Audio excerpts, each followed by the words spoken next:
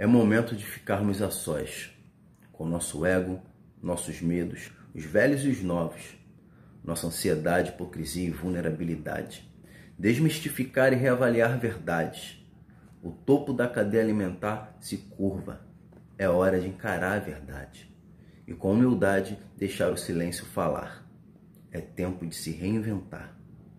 De aprender a fazer o que amamos, muitas vezes longe de quem amamos, para preservar a vida, pois o verdadeiro amor cuida e resguarda. A vaidade cega e põe nossos desejos à frente daquilo que é certo. Sinais dos fins dos tempos, sinais de novos tempos. O vírus que acaba com a vida vem sorrateiro, impede os abraços, mas não mata o afeto. Nos faz perceber que não somos uma ilha, precisamos um dos outros. E essa matéria infinita que nos liga se chama amor. O melhor nome de Deus.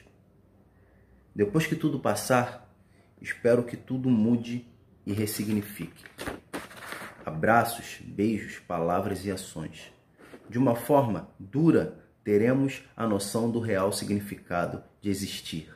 E talvez assim nos reconheceremos como irmãos. A ganância, a vaidade, a maldade de muitos continuarão, mas o amor sairá fortalecido. Paz.